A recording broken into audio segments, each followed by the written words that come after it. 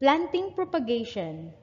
Plant propagation is the process which grows new plant from a variety of sources such as seeds, cuttings, and other plant parts. Plant propagation can also refer to the man-made or natural dispersal of seeds. Methods of plant propagation. There are two methods of plant propagation. The first one is sexual propagation. It is a method of reproducing and multiplying plants using seeds and spores.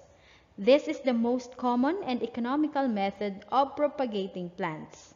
Some of the fruit trees that are propagated with seeds are santol, tamarind, guava, mango, and jackfruit.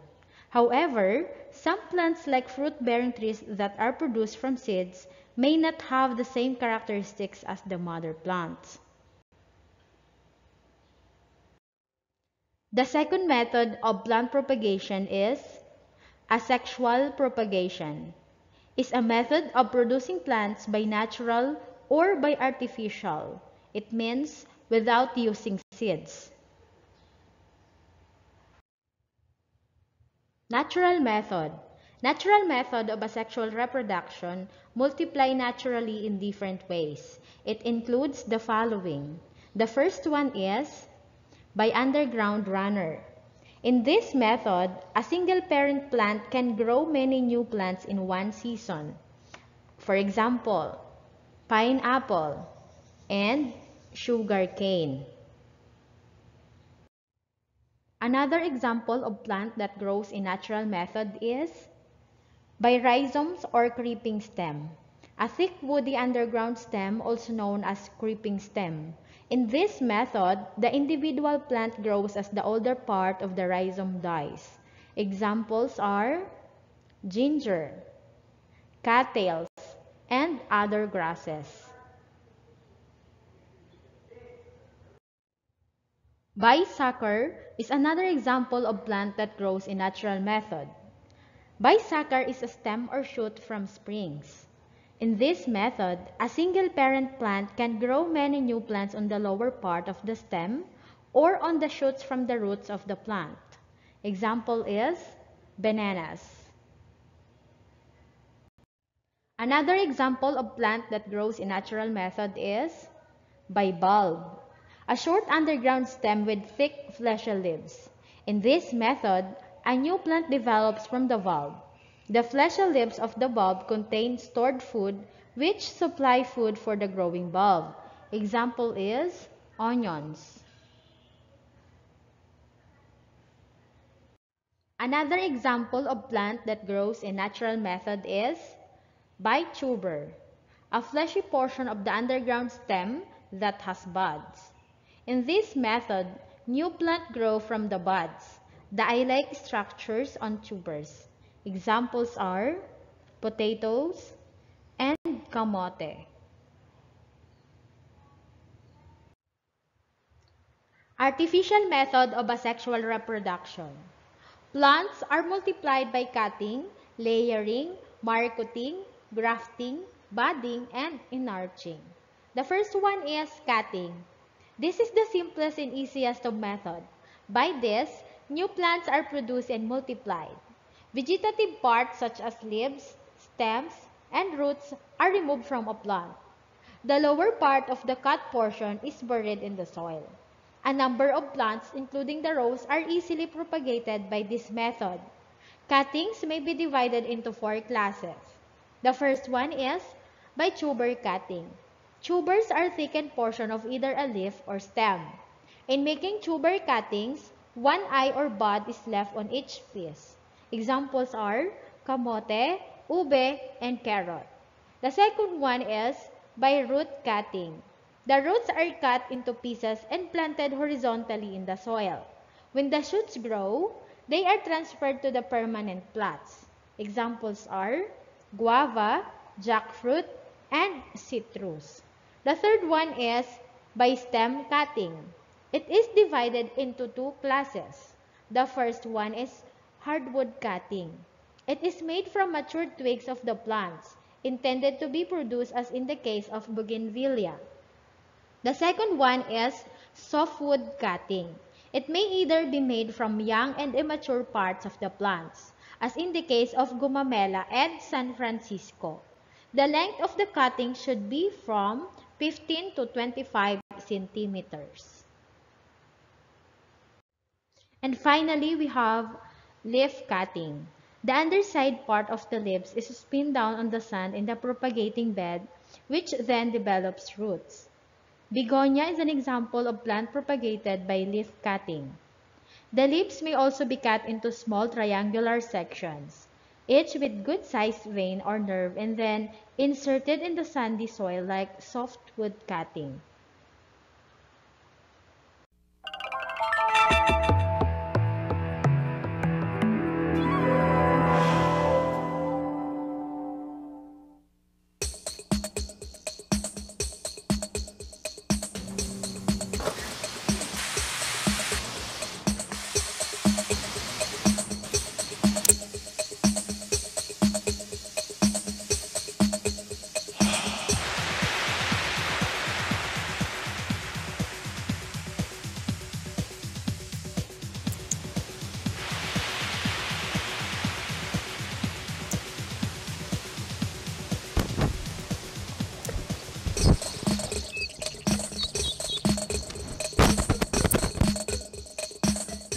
Propagation is the foundation of many businesses within the diverse industry of horticulture.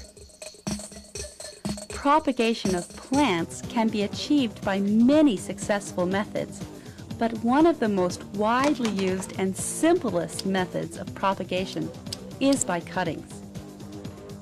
Along with seeds, cuttings remain the backbone of modern plant production cuttings require special tools and environments, but greatly increase the versatility of propagation. By making use of old as well as new methods of taking cuttings, we can increase the chances of successful propagation. In this program, we'll not only demonstrate the skills and techniques of growing plants from cuttings, but we'll also look at the science of cuttings so that we can come to understand how these techniques work. First, we'll take a look at some basic terms and definitions necessary for understanding the growth and development of a cutting, and go over the basic requirements for rooting. After reviewing the tools and special environments needed for cuttings, we'll see the proper techniques for collecting and sticking the cuttings. Let's now begin by defining some basic terms and concepts which will help us understand the science of propagating plants from cuttings.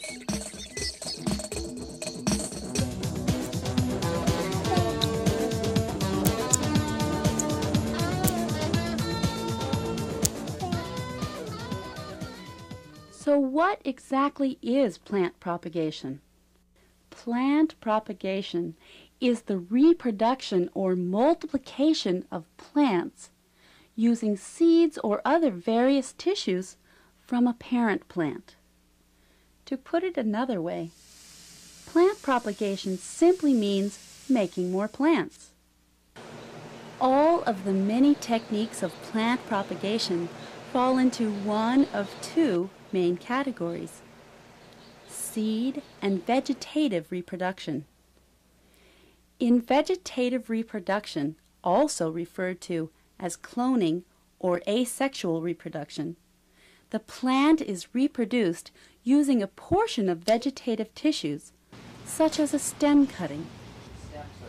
The resulting plants are genetically identical to the single parent from which the vegetative tissues were taken. In addition to cuttings, there are many other methods of vegetative propagation, such as division and layering, but the principles of asexual reproduction remain the same. For instance, the flowers of this rock rose have been developed and selected for their deep pink color. To ensure that the unique flower color remains unchanged during reproduction, this variety must be propagated using vegetative techniques such as cuttings. In reproduction by seed, also called sexual reproduction, male and female genetic material, or DNA, is combined through the process of pollination and fertilization. This type of reproduction produces variable results with the new plants showing a mixture of traits from both parents. This seemingly random expression of inherited traits is called genetic variation. Genetic variation gives us the opportunity to develop unique plants which may be of greater value. Through cross-fertilization, we can combine the desirable traits from two parents of the same species. The seed that is formed and the resulting plant is called a hybrid. The industry of horticulture is full of hybrid plants as well as many unique, naturally occurring varieties. If a plant breeder develops a very desirable plant, then it will often be reproduced using vegetative methods in order to retain all of the desirable traits. When a new variety has great value, such as a new color of rose, the new variety may be worthy of a plant patent. This would make any further vegetative propagation illegal unless you hold the patent rights. There are many criteria plant breeders look for when selecting these new plant varieties. Some of the most common criteria include resistance to disease and pests, cold hardiness, and drought tolerance.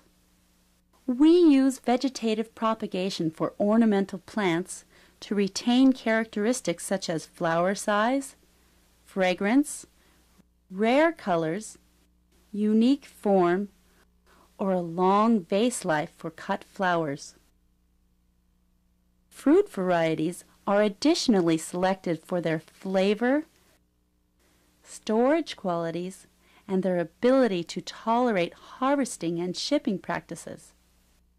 Once we have selected a plant with the traits we want, then we will usually need to reproduce them using vegetative techniques.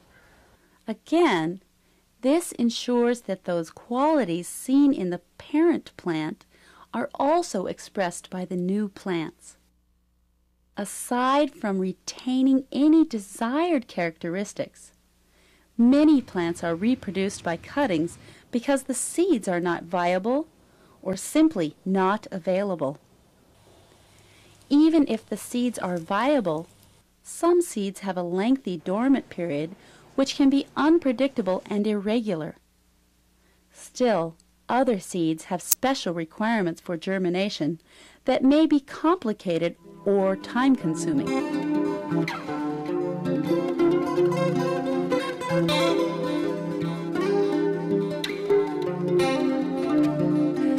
Cuttings have become a very common method of vegetative reproduction. Many cuttings can be taken over and over again from the same parent plant, known as the stock plant or mother stock.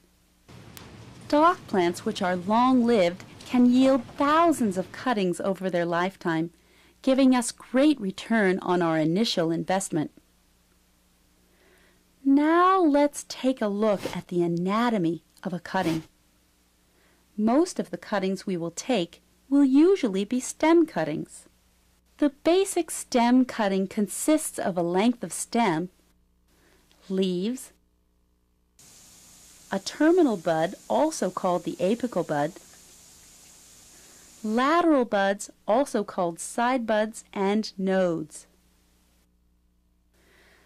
Nodes are the joints of the stem where the leaves and side buds are attached. Leaves and buds are usually removed from the bottom nodes of the cutting. The segments of bare stem in between the nodes are called internodes. we'll refer to these terms again as we begin working with stem cuttings. Stem cuttings have long been classified into four main groups hardwood, semi hardwood, softwood, and herbaceous cuttings. With a few exceptions, hardwood cuttings are taken from deciduous shrubs or woody trees such as the fig. Hardwood cuttings are collected during the cold, dormant seasons from late fall to early spring. The previous year's growth is usually ideal for this type of cutting. Semi-hardwood cuttings are also taken from woody shrubs and trees, but the cuttings are collected during the warm summer months. The cuttings are taken from new shoots where the wood has partially matured. Softwood cuttings are often taken during the late spring season from the soft new growth of many woody plants. Softwood cuttings in general will root quicker than other types of stem cuttings. Herbaceous cuttings are taken from the soft, succulent growth found on flowering perennials and even some annual flowers. Herbaceous cuttings can be taken any time as long as the plant is actively growing. These are probably the easiest cuttings to root and make a great confidence builder for beginning propagators. Stem cuttings are the most common type of cuttings, but leaf cuttings and root cuttings can also be quite productive. Leaf cuttings are made in a variety of ways depending on the plant type. Leaf cuttings can be made with just the blade of the leaf, as with Sansevieria, or the leaf petiole may need to be taken along with the leaf blade, as with Peperomia. Foliar embryos, although they are technically not true embryos, make for easy leaf cuttings since the new plants will form on the top side of leaves while still attached to the mother stalk. This gives the piggyback plant its curious leaf form. In contrast with leaf cuttings, root cuttings are less varied in terms of methods or techniques. Root cuttings are best if collected in the early spring and are effective with a variety of plants including this fig tree, Albizia julibrissin, Campsis radicans, and poplars. Now that we're familiar with the terms and concepts of cuttings, let's take a closer look at the rooting process for cuttings.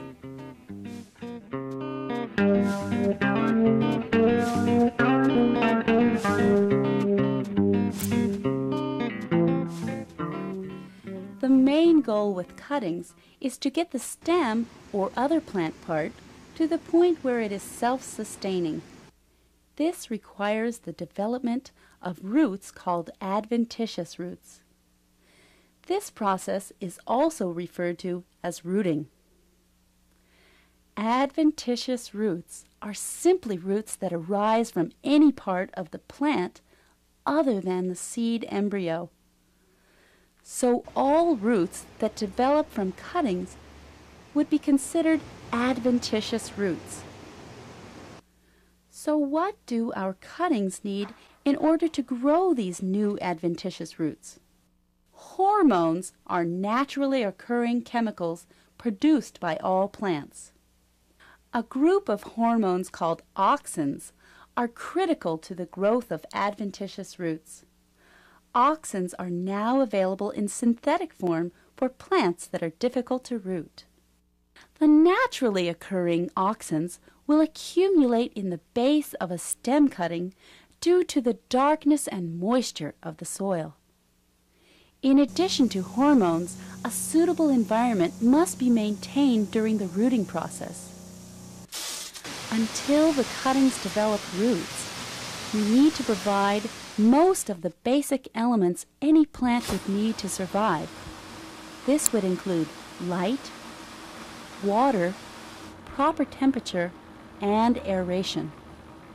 Light is required to sustain the cutting during the rooting process.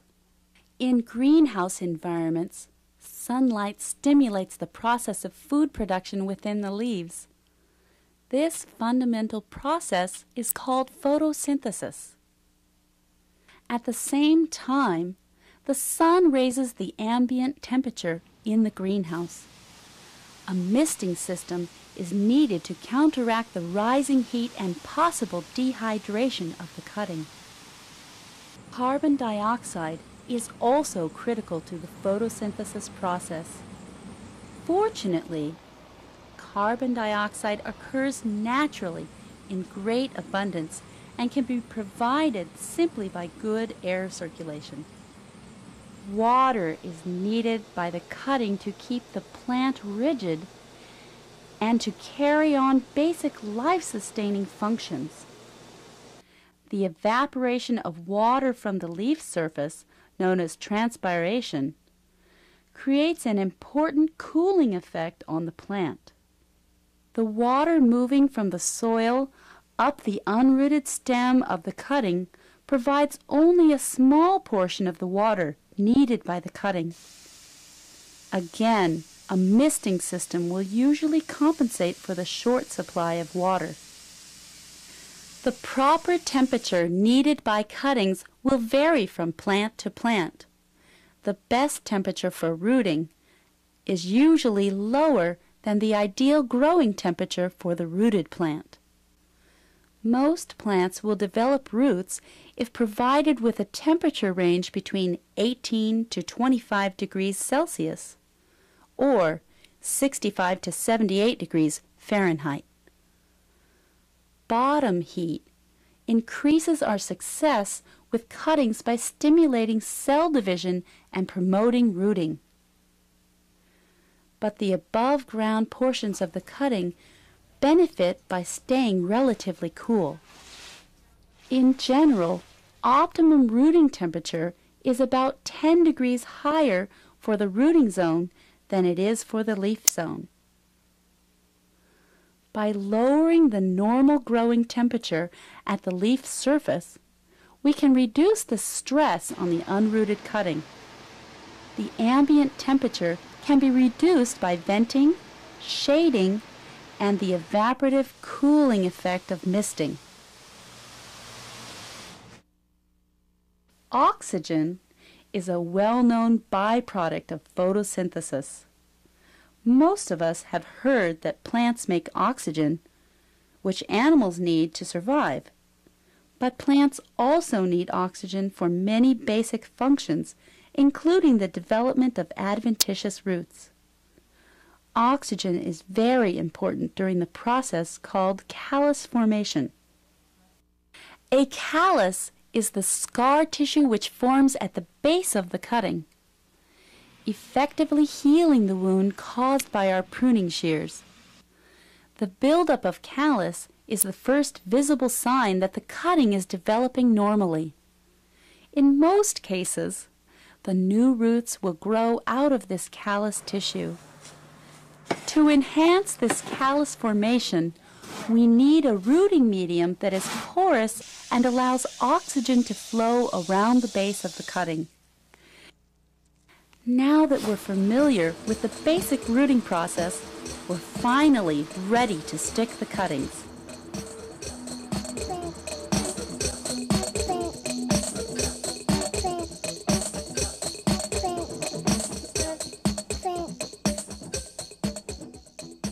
A quick list of equipment we'll need before sticking the cuttings would include pruning shears, a plastic bag or a large container for collecting the cuttings, rooting media and trays or flats to support the cuttings, a misting system, and ideally some kind of bottom heat. Let's start out by taking cuttings of an herbaceous plant plants from the mint family are usually easy to root and stock plants are also easy to find. They can be recognized by square stems, strong scented leaves, and flowers that are arranged in whorls encircling the stem. This spearmint is easily propagated by cuttings and should root quickly in two to three weeks. With herbaceous cuttings, we want to select stems that are thick and sturdy. Once we've collected enough stems, we'll spray a little water over them to keep them from wilting. If possible, keep the stems out of direct sunlight. The rooting medium we're using is two parts perlite mixed with one part peat moss. We'll use a plug tray with deep cells and fill it to the top with our rooting medium. Wet the medium after it has been added to the plug trays. Now we're ready to stick the cuttings. Each length of stem should provide us with many cuttings.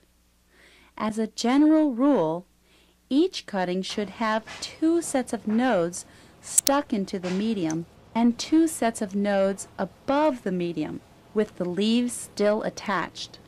So when we select the piece of stem for our cutting, it should have at least four nodes if possible cut off the stem just below the last set of nodes.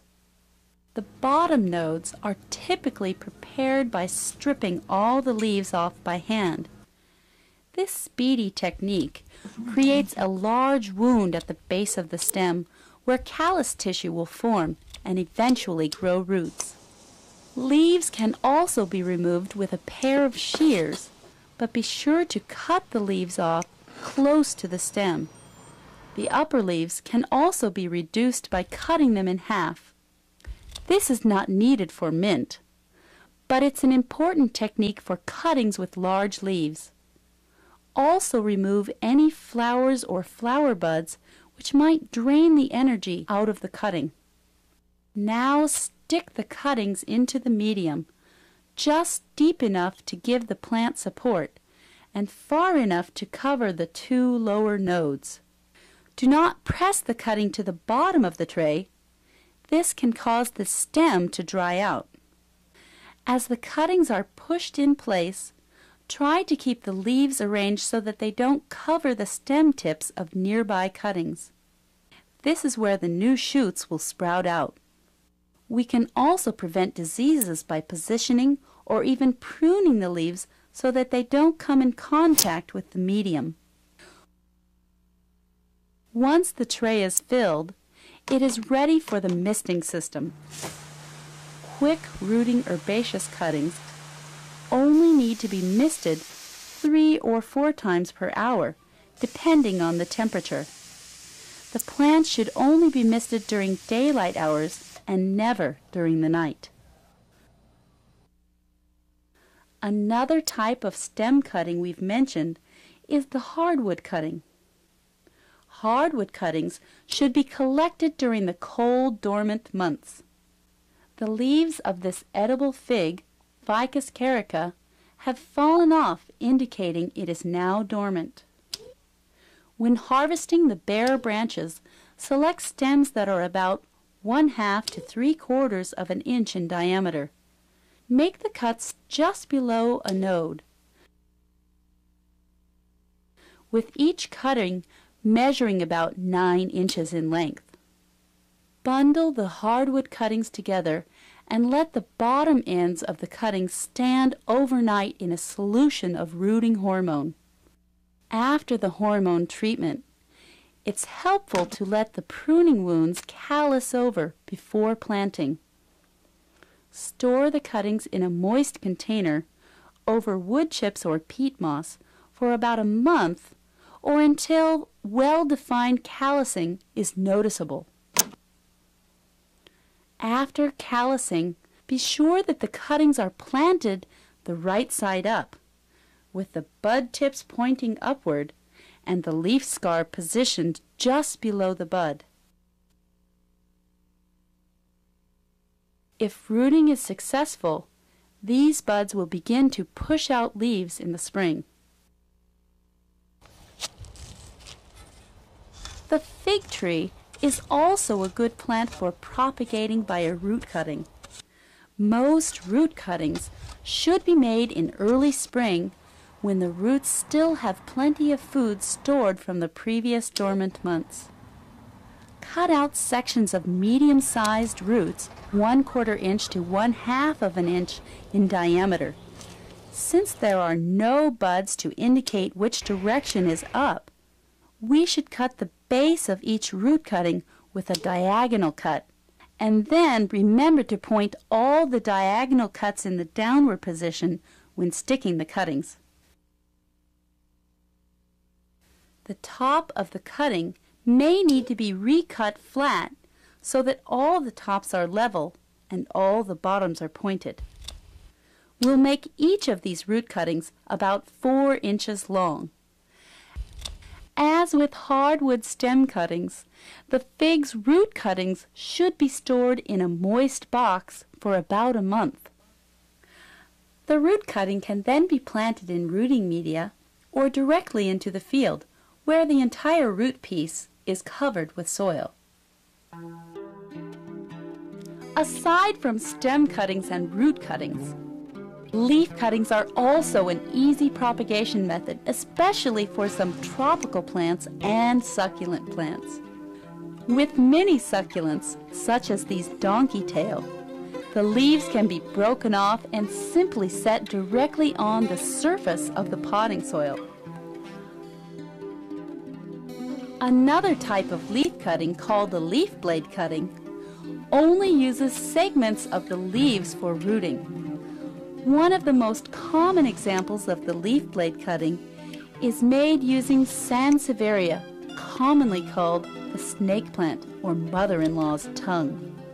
Three to four inch sections are sliced up, giving the downward or distal end of each leaf a slanted cut. This technique, as shown earlier with root cuttings, will help us maintain proper orientation when sticking the cuttings. Using a standard propagation medium, push the cuttings halfway into the rooting medium, remembering to point the slanted end of the leaf downward into the medium. These leaf blade cuttings will usually root in 8 to 10 weeks. A variation on the leaf blade cutting is the midrib cutting used with these Streptocarpus.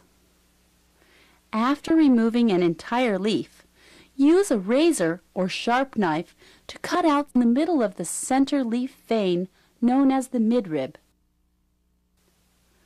Place the halves in a rooting medium buried about a half an inch. These leaf cuttings will need to be set under mist for about two months. These pups are now ready to be divided and transplanted. Another type of leaf cutting is the leaf petiole cutting, in which the entire leaf, including the petiole, is used. This peperomia is one of the many tropical plants that will root easily with this method. The petiole is pushed into the rooting media until the bottom of the leaf blade contacts the media. New roots and pups will emerge in a month or two. The rooted leaves and pups can then be transplanted into pots. African violets are also propagated using this technique.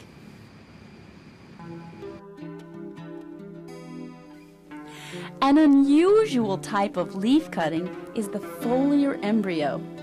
As mentioned earlier, foliar embryos are technically not true embryos, but they do make easy leaf cuttings. The foliar embryo of Tolmiea menziesii, commonly called the piggyback plant, sprouts a new plantlet or pup from the base of the leaf blade. These small plants are often already formed on the adult leaf, complete with tiny roots. They merely need to be set on some potting medium in order to sprout roots. we'll use the direct stick method, which skips the need for transplanting the rooted cuttings. With direct stick, we use the pot that the plant will eventually be sold in.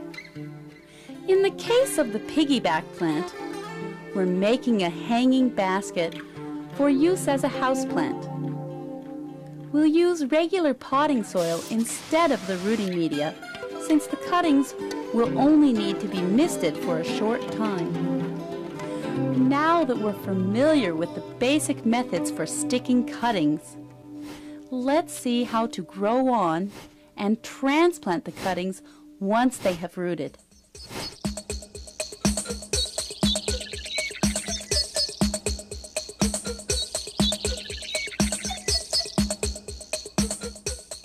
While the cuttings are developing roots, we should be checking on them every week or so to see if there is any callus formation at the base of the stem. Slow callus formation is often a sign that the media is not draining well or the duration of the mist may be too long. The duration of mist should be long enough to cover the leaves evenly, usually between 3 to 5 seconds. The interval between misting should be long enough so that most of the water has already evaporated from the leaf surface. This misting interval will also depend on the type of plant being propagated. In warm greenhouses, misting intervals can run anywhere from one misting every 10 minutes to one misting every 30 minutes. If our misting program is scheduled correctly, we should soon observe roots growing out of the bottom of the tray. We can also check for rooting by giving the cutting a gentle tug from the leafy top of the cutting. If the cutting slips easily up and down, then the roots most likely haven't developed yet. While the roots are forming, the cuttings need to be regularly inspected for disease problems. Remove any signs of diseased tissue such as dark spots, black leaf tips, or grayish-white threads. Keeping the rooting tray clean will also help prevent disease infection. Pick up any rotting or fallen leaves and throw out cuttings that are obviously not going to take. As we mentioned, starting out with a well-draining, sterile soil will prevent many disease problems. Programming the mist schedule so that plants are not overwatered will prevent disease as well as algae growth. In addition, providing good air circulation and bright light will help control many diseases. If fine-tuning our horticultural practices is not effective, then diseases may be prevented by spraying or drenching with fungicides. Once the cuttings have rooted evenly throughout the tray, then they should be taken off the misting benches and watered only when dry or nearly wilting. Watering one to three times a day is usually enough. Transplant the cuttings into a potting mix that has better water retention than the rooting media. Equal parts of peat moss and perlite will make a good potting medium for most plants. Water the cuttings into their new pots even if the medium was already moist. This ensures good contact between soil and roots and also reduces transplant shock. If we are transplanting the rooted cuttings directly into the field, make sure they have a hardening off period. Hardening off gives plants that have lived inside the greenhouse a transition period to get used to the harsher conditions found outside of the greenhouse. The plants are simply set outside for a week or two before transplanting into the field or landscape. Hardening off reduces the stress of that final move into the field environment where the plant will complete its growth and development. In this program, we've looked at many aspects of propagation of plants by cuttings. We've studied the basic anatomy of cuttings as well as the process of callousing and root development.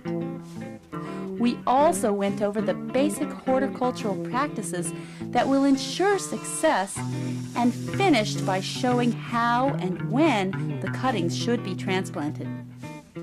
We hope that the combination of botany, biology, and horticulture covered in this program has sparked the interest of our viewers to continue studying and experimenting with the many techniques of plant propagation.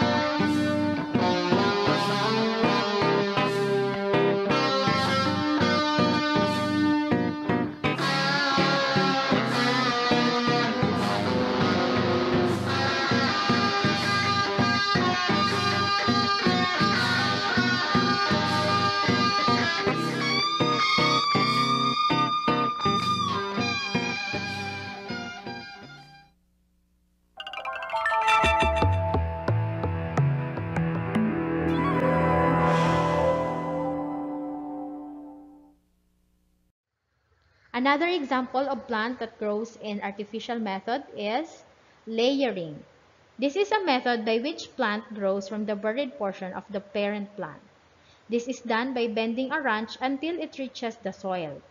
The part touching the soil is partly covered as soon as the new plant is established. It is cut from the parent plant and transferred to a new place. Example is rose. Marcotting is another example of plant that grows in artificial method. In this method, a strip of bark from around the plant is removed. The strip part is wrapped with soil and secured with a piece of cloth or plastic. When roots start to grow, the branch is cut off and planted in the soil. Marcotted plants bear fruits much earlier than the trees planted from seeds. Steps in marcotting. First, remove a ring-like layer around the desired branch. Step 2. After the bark is completely peeled off, scrape off the slippery lining that covers the branch. Third, place moist sawdust around the area where the bark has been peeled off. Step 4. After placing the rooting medium around the cut area, hold it with coconut husk or transparent plastic sheet. Tie this firmly in place. Fifth, Water the marcotted area for 2 to 12 weeks.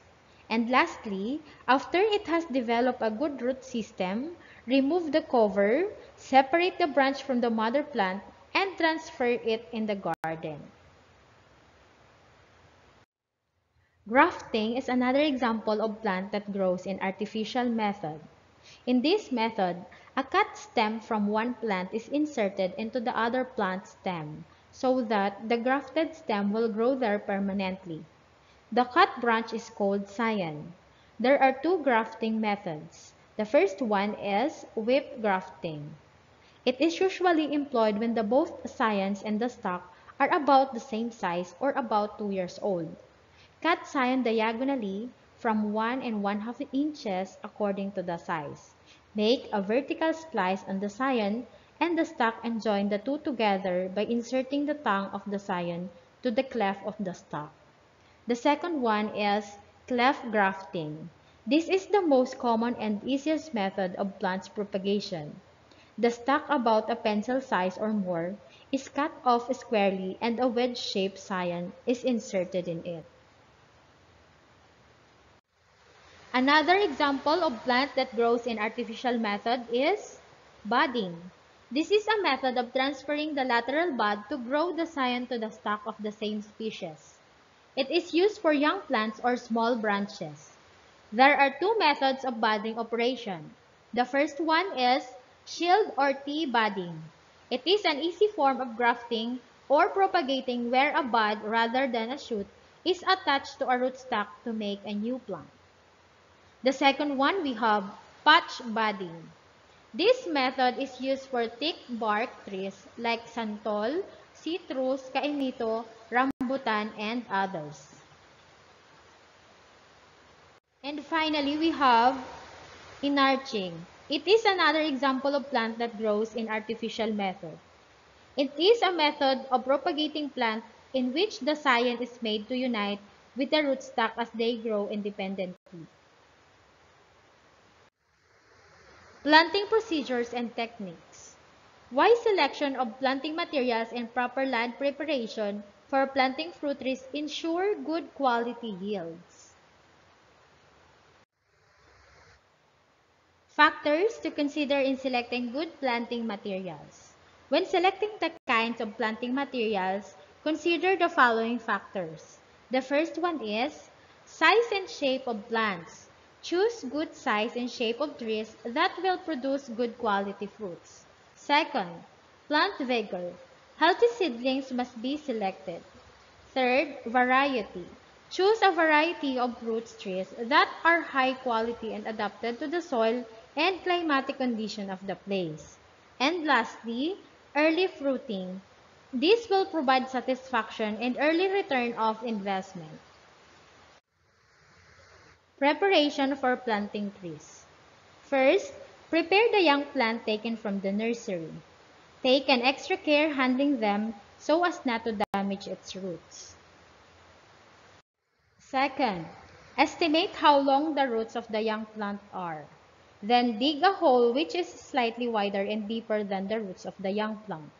Provide extra space below and at the sides of the hole to help the roots of the young plant to establish. Square holes are much better because the roots of the tree can go round as it grows. Unlike in round holes, it will only break out. Third, the hole should not be too deep. The transplanted young plant should be of the same height on the ground as it was on the nursery. Backfill a little if the hole is too deep. Planting too deep in the ground will rotten the stem of the young plant. Planting too shallow, the roots which is above the ground will die. Put the young plant in the hole, then replace the soil until the hole is completely filled. See to it that the soil is firm around the young plant so that the roots will not be immobilized. Fourth, keep the soil firm. You can use the back of your boot, but do not compact the soil through hammering it down like a concrete. Compact soil will cause the roots of the young plant to die because it prevents water and air circulation. Lastly, water the new transplanted young plant.